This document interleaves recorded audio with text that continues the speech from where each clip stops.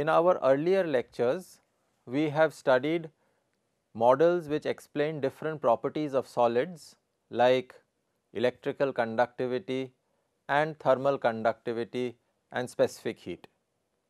In the next few lectures, we will look at another property of solids namely magnetism and we will see how Sommerfeld model is quite successful in studying one aspect of this complex phenomena of magnetism.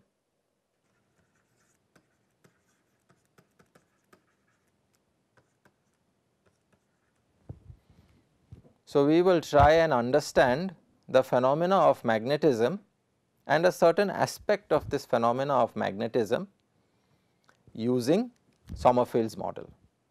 Now, magnetism is a phenomena which is very old, it is very ancient. And one knows the presence of magnets since ancient times. And a lot of metals and solids exhibit the phenomena of magnetism. And magnetism can be basically derived into three main categories. One is the phenomena of ferromagnetism,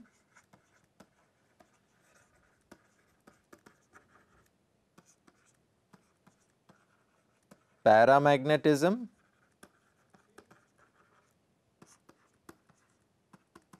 diamagnetism.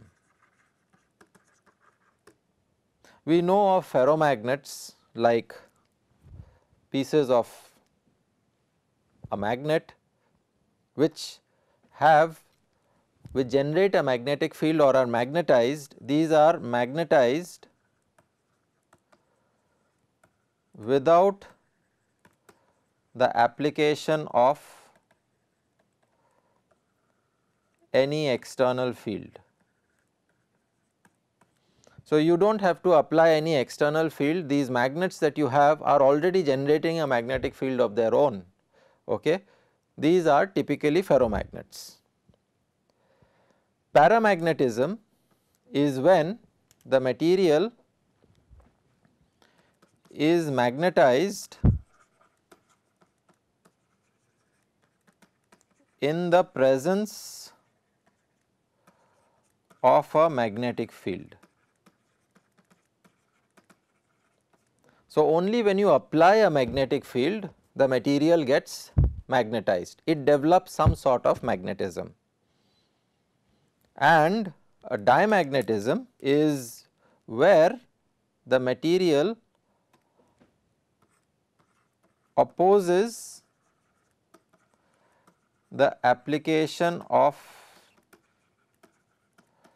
a magnetic field or develops a magnetization opposite to magnetic field applied. So, you apply a magnetic field and the material repels it or expels that magnetic field which you have applied. So, that is diamagnetism. Of course, these are some very broad categories which are the popular categories of magnetism. There are a number of other types of magnetic phenomena which exist like antiferromagnetism, ferrimagnetism and so on which I am not getting into. But these are some broad categories that you are familiar with, you have heard about and those are ferromagnetism which is a bar magnet. It generates a magnetic field of its own, does not require an external magnetic field to magnetize it Paramagnetic materials are those materials which get magnetized when you apply a magnetic field to it and diamagnetism are those materials which expel any magnetic flux that you have applied to it. It opposes, it generates a magnetization opposite to the magnetic field that you have applied to the system. Now, it turns out that none of these phenomena can really be explained by considering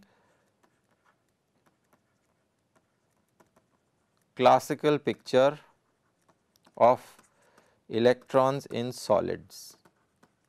There is no way you can explain any of the features of either diamagnetism, paramagnetism and ferromagnetism by considering electrons in the solids as behaving classically. You have to invoke a quantum mechanical description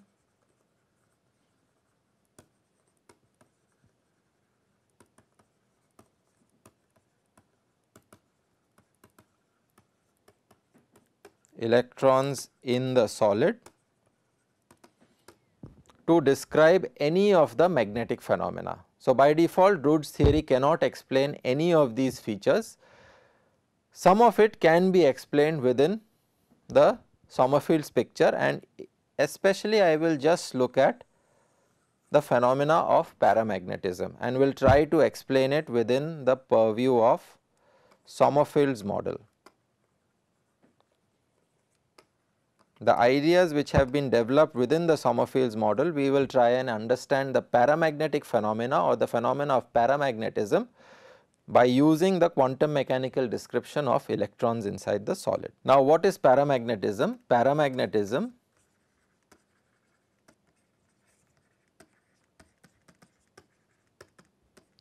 is when a material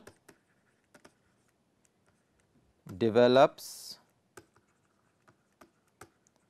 a weak magnetism when placed or subjected to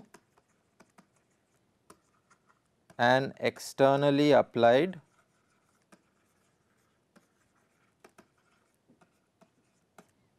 So, you take a material, you have a sample of a some metal and you place a, it in a magnetic field. You apply a magnetic field to this metal and what you will find is that the metal will develop some magnetization. It will get magnetized and that is the phenomena of paramagnetism. If you make the B equal to 0 external field, if you make it 0, the magnetization of the material becomes 0, but the moment you make B non-zero, the material is magnetized it will develop something like north poles and south poles. It will start behaving like a bar magnet only if you apply an external field to it.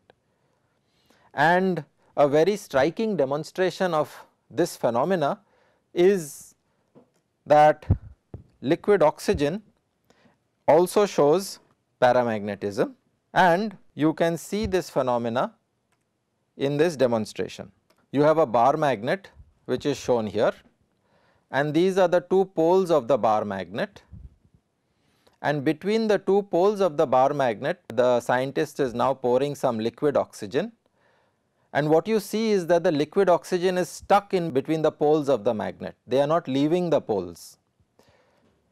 It looks like the liquid oxygen is boiling but it is not falling off only when you put a finger through it you can remove the liquid oxygen. So, nothing there is no solidification nothing is happening the liquid oxygen is between the poles of the magnet.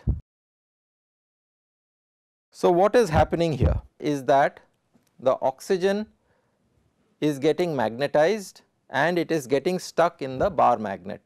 The oxygen atoms which are present inside the liquid oxygen when you pour it through the so, you have poles of the bar magnet which are applying some field and when the oxygen atoms are coming inside these poles they are getting magnetized and they are getting attracted and stuck in between the magnet. They cannot flow. And so this is a phenomena of paramagnetism shown by